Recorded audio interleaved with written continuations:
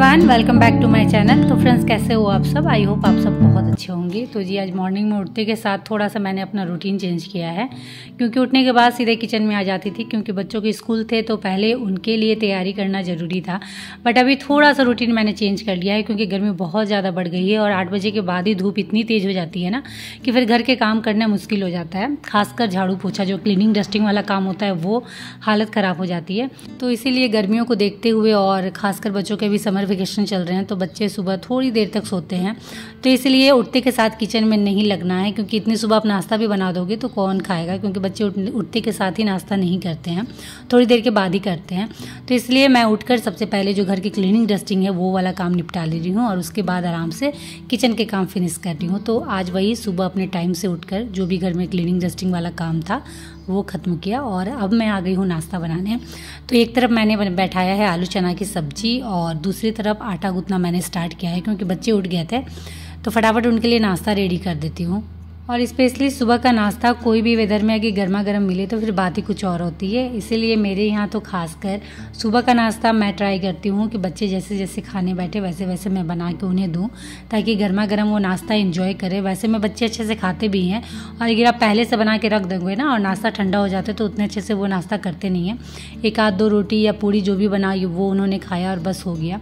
तो बच्चे अच्छे से खाना चाहिए। बस हम जो माँ होती है, हमारा मेन मकसद तो यही रहता है, जब भी हम खाना बनाते हैं कि बच्चे एटलीस्ट अच्छे से खाएँ ताकि उनका पेट भरा हुआ रहे। तो आटा लगाने के बाद मैंने उसे पंद्रह मिनट तक छोड़ दिया था ताकि अच्छे से आटा सेट हो जाए और उसके बाद मैंने पूड़ियाँ बनाने स्टार्ट कर दी है। तो आज पूड़ी बन रही है स्पेशली क्योंकि बच्चों का काफ़ी दिन से मन था और नहीं तो ऐसे मैं पूड़ियाँ नहीं बनाती हूँ। कोई स्पेशली ओकेजन रहता है या फिर बच्चों के स्कूल रहते हैं तो वीक में एक बार मैं बना देती हूँ क्योंकि ज़्यादा तेल में तला भुना खाना मुझे नहीं पसंद है और ख़ासकर गर्मियों के दिन में।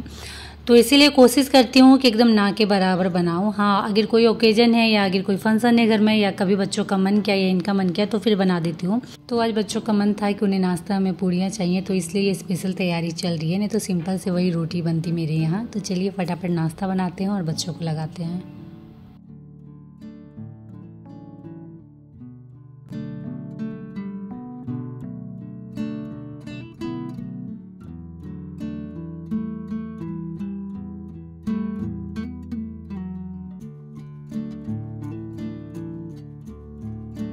तो बच्चों का नाश्ता हो गया था और मैं भी फ्री हो गई थी कि एटलीस्ट बच्चों ने खा लिया तो अब मैं फ्री हूँ, आराम से मैं निश्चिंत से अपना काम कर सकती हूँ। तो मैं आ गई थी छत गद्दे लेके क्योंकि अभी धूप काफ़ी अच्छी आ रही है और काफ़ी तेज़ आ रही है। तो जब ऐसी धूप निकलती है ना तो कोशिश यही करिए कि जो आपके घर के गद्दे हैं, तकिए हैं, कुशन हैं, उन सबको बीच बीच में धूप ज़रूर दिखा दिया करिए। इससे क्या बेनिफिट होता है ना? अगर हमारे घर में रुई से बने हुए गद्दे तकिए हैं तो इनकी लाइफ टाइम बढ़ जाती है। बार बार अगर आप इन्हें बीच बीच में धूप दिखा रहे हो तो। और सेकंड जो इनके अंदर रुई हो रहती है ना, वो एक टाइम के बाद बैठ जाती है, एक जगह सिकुड़ के रह जाती है। तो धूप दिखाने से वापस ये अपने आकार में आ जाती है। तो इन कारणों से बीच बीच में ज़रूरी है कि इन्हें आप धूप दिखा दो और स्पेशली बरसात आने से पहले तो बहुत ज़रूरी है, क्योंकि बरसात में फिर नमी नमी में एक अलग सी ख़राब सी स्मेल आने लगती है गद्दे तकियों से। तो अगर आप बीच बीच में ऐसे धूप दिखा देते हो ना तो वो प्रॉब्लम फिर फेस आपको करना नहीं होगा।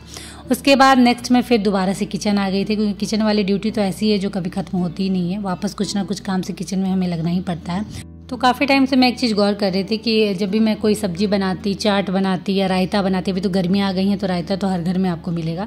तो भुना हुआ जीरा पाउडर की मुझे बहुत ज़रूरत पड़ती थी और मुझे बार बार क्या करना पड़ता था, तावा में मैं थोड़ा सा फ्राई कर लेती थी जीरा को और फिर कूट के या ग्राइंड करके उसका यूज़ करती तो उससे क्या होता था, मुझे डेली वो मेहनत करना पड़ता था। तो डेली मेहनत करने से अच्छा है कि एक ही दिन आप ये सारे झंझटों को ख़त्म करो और आराम से आप चाहे दस दिन के लिए बनाओ, पंद्रह दिन के लिए बनाओ, तब तक निश्चिंत रहो। क्योंकि डेली फिर वो फ्राई करना, जीरा को भूंजना फिर उसे ग्राइंड करना या कूटना, फिर उसका यूज़ करना, उसमें काफ़ी टाइम जाता है।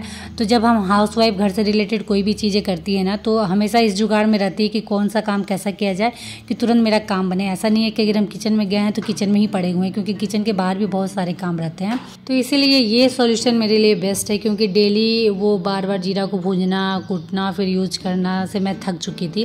तो इसलिए मैंने सोचा कि एक दिन मैं लगती हूँ ताकि बाकी जो दिन है उसके लिए मुझे रेस्ट मिल जाए, जब भी मुझे ज़रूरत हो, फटाक से मैं निकालूँ और यूज़ कर लूँ। तो इसीलिए मैंने ये तरीका अपनाया है। तो जो जीरा था उसमें से आधा जीरा मैंने वैसे ही छोड़ दिया और आधा जीरा को मैंने फ्राई कर लिया है और उसे ग्राइंड करके रख ले रही हूँ ताकि मुझे जब भी ज़रूरत हो आराम से मैं यूज़ कर सकूँ। और मेरी आदत क्या है ना, जब तक मैं किसी प्रॉब्लम से गुजरती नहीं हूँ या फिर किसी प्रॉब्लम को फेस नहीं करती हूँ, तब तक दिमाग नहीं खुलता है। और डेली मुझे ये प्रॉब्लम हो रही थी कि डेली मुझे ज़रूरत पड़ती ही पड़ती थी तो उसके लिए मुझे थोड़ा सा भूंजना ही पड़ता था और उसमें काफ़ी टाइम चला जाता था। तो वही होता है, जब हम किसी प्रॉब्लम से गुजरते हैं, जब हम किसी प्रॉब्लम को फेस करते हैं, तब हमारे दिमाग की बत्ती चलती है और फिर तब लगता है कि नहीं, कोई जुगाड़, कोई सोल्यूशन निकाला जाए जिससे मुझे इन सब झंझटों से मुक्ति मिल जाए। और इन्हीं छोटी छोटी प्रॉब्लम को फेस करके हम लाइफ में बहुत कुछ सीखते हैं, चाहे वो किचन से रिलेटेड हो, घर से रिलेटेड हो या लाइफ से रिलेटेड हो बट हाँ सीखते ज़रूर है। तो चलिए, जीरा पाउडर मेरा बनकर तैयार था और उसे मैंने अच्छे से एयर टाइट कंटेनर डब्बे में डाल के रख दिया है ताकि वो अच्छे से मेरा एक महीना चल जाएगा। और उसके बाद अब मैं आ गई थी रूम में क्योंकि बच्चे स्टडी कर रहे थे एसी वाले रूम में तो एसी प्रॉपर ठंडा नहीं कर रहा था रूम को। तो वही मैं आ गई थी देखने। तो क्या होता है ना, हम एक बार एसी को एसी की जो जाली होती है, उसे क्लीन करके छोड़ देते हैं। बट ऐसा नहीं करना है, आपको बीच बीच में जब भी आपको लगे कि एसी से ठंडा कूलिंग कम हो रहा है तो आप एक बार बीच में जो उसमें जाली रहती है ना, ऊपर में लगे हुए, वो ज़रूर चेक कर ले। वो अगर गंदा रहता है तो एसी आपका रूम बिल्कुल ठंडा नहीं करेगा। ठंडा करेगा बट वैसा नहीं करेगा। और इसे आप साफ़ कर लो, उसके बाद देखो, एकदम रूम चिल्ड हो जाना है। तो वही था, मैं जाली ले आई थी बालकनी में और देख सकते हो आप कितना गंदा गिरा हुआ है। तो बस इसे एक कपड़े से पोछ लेती हूँ। धोना नहीं है। आप ऐसे नॉर्मली ऐसे झाड़ दो और एक सूती कपड़े से पोछ दो। बस आपका जाली एकदम साफ़ हो जाएगा। तो जाली मैंने साफ़ कर दिया और वापस इसे एसी के अंदर डालते हैं। और एक टाइम ऐसा था ना कि इसी के लिए मुझे सर्विस वाले भैया को बुलाना पड़ता था और वो इसके लिए फाइव हंड्रेड चार्ज भी करते थे और मैं दे भी देती थी। इतनी बुड़बक थी। कुछ उस समय आता ही नहीं था, कुछ नॉलेज ही नहीं था। और क्या होता है ना, जब भी हम कुछ सामान लेते हैं ना, दाम देकर, अच्छे दामों में तो थोड़ा सा उस चीज़ के प्रति थोड़ा सा हम ज़्यादा पॉजिटिव रहते हैं कि नहीं टच नहीं करना, ऐसे नहीं करना, वैसे नहीं करना, ख़राब हो जाएगा तो फिर हो गया। इतना दाम दे हमने ये सामान लिया है। तो बहुत ज़्यादा अंदर डर रहता है। तो इस वजह से हम जान के भी उसे नहीं जाते हैं छूने की, नहीं, अगर थोड़ा बहुत अगर कुछ हो गया तो गए। तो इससे अच्छा है कि सर्विस वाले भैया को ही बुला लो। तो वही हमारे साथ भी था। तो बट बाद में धीरे धीरे जैसे थोड़ा बहुत समझ में आया। फिर जब अगर आपके माथा पे जब घर का भार पड़ जाता है ना तो आपको एक एक पैसा कहाँ से बचाए किस तरीके से बचाए वो भी दिमाग में आने लगता है। तो फिर ये मैंने यूट्यूब पे ही देख के सीखा कि कैसे जाली साफ़ करते हैं, कैसे क्या करते हैं। तो आज खुद मैं कर लेती हूँ। लेसी लिए हुए मुझे लगता है छः सात साल हो गया। तो बस मैंने एक दो बार सर्विस वाले भैया को बुलाया था, उसके बाद से मैं खुद ही क्लीन कर लेती हूँ। तो कभी भी अभी कोई प्रॉब्लम इतने ईयर्स में ना कोई प्रॉब्लम नहीं आई है कि मुझे सर्विस वाले भैया को अगेन फिर बुलाना पड़े और साफ़ करवाना पड़े। तो चलिए ऐसे क्लीन कर लिया था मैंने और अब हवा भी ठंडी आ रही तो बच्चे वापस से स्टडी में लग गए हैं और मैं आ गई थी किचन क्योंकि बच्चों को चाहिए था आलू चिप्स जो कि वो काफ़ी दिन से बोल रहे थे। तो ऐसे तो मैं बना नहीं पाई थी बट अभी मैं इंस्टेंट वाला जो चिप्स होता है वो बना रही हूँ, क्योंकि बच्चों का खाने का भी टाइम हो गया था। तो ये इंस्टेंट वाला चिप्स है, जो कि आप लोग भी जानते होंगे। ज़्यादा टाइम इसमें लगता नहीं है, तुरंत बन जाता है। तो चलिए फटाफट चिप्स की तैयारी करते हैं। तो आलू उलू को छील के मैंने धो के रख लिया था। बस इसे चिप्स के आकार में कट करना था। तो इसके लिए जो चिप्स बनाने वाला रहता है ना, वो दो है मेरे पास। एक स्टील का है कि प्लास्टिक का है। तो स्टील वाला ख़राब हो गया तो उससे मैंने ट्राई किया बट उससे नहीं हुआ तो फिर ये मैं प्लास्टिक वाला यूज़ कर रही हूँ। तो इससे चिप्स बहुत अच्छे से कट हो रहा था। साइजेज भी बहुत अच्छी और एकदम पतले सेप में तो बहुत अच्छे से कट हो रहा था। और इसका जो ब्लेड था ना, काफ़ी शार्प था तो एकदम अच्छे से तुरंत तुरंत कट हो जा रहा था। ओके तो मैं चलिए चिप्स फटाफट बनाती हूँ और साथ ही साथ आपके कमेंट का आंसर भी देती हूँ। किन्हीं ने कमेंट किया था कि प्लीज़ आप अपने घर के कर्टन का लिंक दीजिए। तो मैं क्या लिंक दूँ? क्योंकि जो मेरे घर में कर्टन यूज़ हुए हैं ना, वो सारे लोकल मार्केट के हैं। एक आध दो ही कर्टन आपको मिलेंगे जो मैंने ऑनलाइन अमेजोन से मंगाए हैं। तो मैं कोशिश करूँगी कि उनका लिंक डाल दूँ, नहीं तो बाकी सब, जो जो कर्टन आप देखते हो, जितने भी रूम के, वो सारे मैंने लोकल मार्केट से ही जाकर लिए हैं। और रीज़न ये होता है ना कि ऑनलाइन में हमें अच्छे मिल जाते हैं, काफ़ी बार किफ़ायती दर में भी अच्छी अच्छी चीज़ मिल जाती हैं, जो हमें ऑफलाइन नहीं मिलती है। बट मैं एक बार क्या करती हूँ ना ऑनलाइन लेने के पहले ऑफलाइन जाके सर्च ज़रूर करती हूँ। अगर मुझे ऑफलाइन कुछ मेरे बजट में कुछ अच्छा सा मिल जाता है तो मैं ऑनलाइन के बजाय ऑफलाइन लेना ज़्यादा पसंद करती हूँ, क्योंकि ऑफलाइन में मैं देख के, समझ के छू कर अच्छे से परख के ले सकती हूँ ऑनलाइन में तो वो होता नहीं है, बस हम देखते हैं, पसंद करते हैं और रेट उट देखते हैं, ठीक है ना, और ले लेते हैं। उसके बाद जब वो प्रोडक्ट हमारे घर पहुँचता है, तभी पता चलता है कि असल में उसकी क्वालिटी कैसी है, क्या है, क्या नहीं है, और अगर अच्छा निकला तब तो बहुत अच्छी बात है, और नहीं तब तो फिर आपको रिटर्न करना पड़ेगा। तो इस तरीके से कुछ होता है। इसीलिए एक बार मैं ऑनलाइन लेने से पहले ऑफलाइन जो मेरे यहाँ का लोकल मार्केट है वहाँ ज़रूर सर्च कर लेती हूँ। अगर मुझे मिल जाता है मेरे मन मुताबिक तो मैं कोशिश करती हूँ कि मैं ऑफलाइन ही लूँ। हाँ नहीं मिलता है तब मैं जाके ऑनलाइन सर्च करती हूँ और ऑनलाइन से परचेज करती हूँ। तो अगर आप भी आ, कुछ भी घर के लिए ले रहे हो तो एक बार ऑनलाइन की जगह ऑफलाइन भी सर्च कर लेना। अपना अपने यहाँ का जो भी आपका लोकल मार्केट होगा एक बार वहाँ जाके ज़रूर देख लेना। कोशिश यही करिएगा कि अगर ऑफलाइन आपको अच्छी चीज़ें मिल जाती है आपके हिसाब से, आपके बजट के अनुसार तो ऑनलाइन से बेटर है। आप ऑफलाइन ही वो चीज़ ले लो, देख समझ के परख के आप लोगे।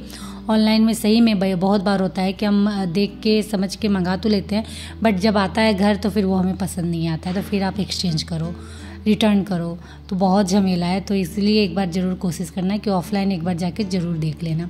तो मेरे पास जो भी हैं, थोड़े बहुत कटन, उनका लिंक मैं कोशिश करूँगी, अगर मेरे पास अवेलेबल होगा, मिल जाएगा तो इस वाले वीडियो के डिस्क्रिप्शन में ज़रूर मैं डाल दूँगी। तो चलिए, कमेंट के आंसर देते देते चिप्स मेरे बन गए थे, बच्चों ने खाना वाना खा लिया था। तो अभी वापस से मैं थोड़ी देर के लिए फ्री हूँ, क्योंकि जब बच्चे खाना खा लेते हैं ना तो मैं बहुत निश्चिंत हो जाती हूँ कि एटलीस्ट बच्चों ने टाइम पर खाना खा लिया। अब मैं अपना काम कर सकती हूँ निश्चिंत से। तो मैं यहाँ हरी मिर्ची और लहसुन लेके बैठी हुई हूँ, क्योंकि इनका यूज़ डेली लाइफ में बहुत ज़्यादा है। लहसुन तो ऐसी चीज़ है जो हर सब्ज़ी में पड़नी है, और मेरे यहाँ हरा मिर्चा बहुत ज़्यादा यूज़ होता है। लाल मिर्चा पाउडर मैं बहुत कम यूज़ करती हूँ। हरी मिर्ची ही सब्ज़ी में ज़्यादातर डालती हूँ, क्योंकि लाल मिर्चा पाउडर आपको भी पता है हेल्थ के लिए बिल्कुल अच्छा नहीं है। जितना हो सके एकदम कम यूज़ करें। हरी मिर्ची अगर घर में है तो वो बहुत अच्छा है। लाल मिर्ची भी जो गोटा वाली होती है ना, उनसे भी बहुत अच्छी हरी मिर्चें हैं।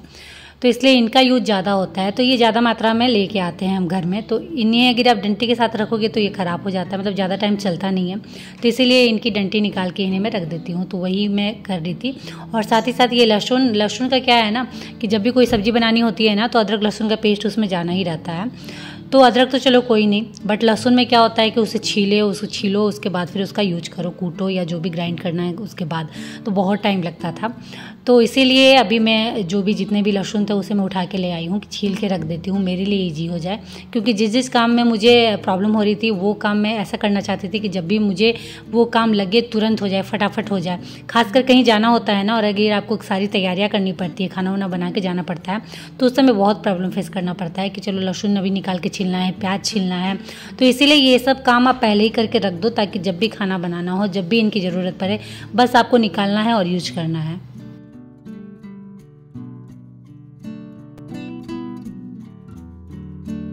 तो आज मैं किचन के उन छोटे छोटे प्रॉब्लम को लेके बैठी हुई थी, जिनके चलते मुझे बहुत ज़्यादा टाइम किचन में देना पड़ता था और हैरान परेशान भी रहती थी, क्योंकि डेली का वही था। तो चलिए फाइनली आज सोल्यूशन मिल गया कि क्या कैसे करके रखना है, ताकि मेरे किचन के काम एटलीस्ट ईजी हो जाए। क्योंकि आपको पता है कि ज़्यादा से ज़्यादा टाइम हमारे किचन में ही बीतता है। तो क्यों ना कुछ ऐसे छोटे छोटे टिप्स अपनाया जाए, जिससे हमारे किचन के काम हमारे लिए ईजी हो जाए। तो अगर आपके साथ भी ये सारी प्रॉब्लम चल रही हैं, या आप भी इन सारे प्रॉब्लम को फेस कर रहे हो तो आप भी ये टिप्स यूज़ कर सकते हो, जो कि आपके लिए काफ़ी हेल्पफुल होने वाला है। तो चलिए फ्रेंड इसी के साथ इस ब्लॉग को मैं करती हूँ यहीं एंड और आप लोगों से मिलती हूँ नेक्स्ट ब्लॉग में। आई होप आज का ब्लॉग आप लोगों को अच्छा लगा हो। तो अच्छा लगा हो फ्रेंड तो फटाफट लाइक करिए शेयर करिए अगर चैनल में नए आए हो तो प्लीज़ चैनल को सब्सक्राइब ज़रूर कर लीजिएगा। तो चलिए आज के लिए इतना ही, मिलते हैं नेक्स्ट ब्लॉग में। तब तक के लिए बाय और आप सब अपना ख्याल रखिएगा।